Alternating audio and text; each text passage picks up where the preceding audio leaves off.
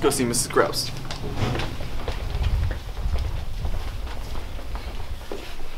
Hi, I'm Mrs. Kraus, and I am the head of all technology here at Pontiac Township High School.